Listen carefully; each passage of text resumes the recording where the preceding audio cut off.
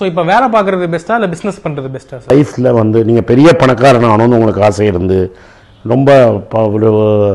உங்கள் life style டிஃப்ரெண்ட்டாக இருக்கணும்னு நீங்கள் நினச்சிங்கன்னா பிஸ்னஸை தவிர வேறு வழியே கிடையாது. நீங்கள் வேலையில் இருந்தீங்கன்னா ஒரே மாதிரி வேலையில் இருந்து சீராக போய் பசங்களை படிக்க வச்சுட்டு கடைசியில்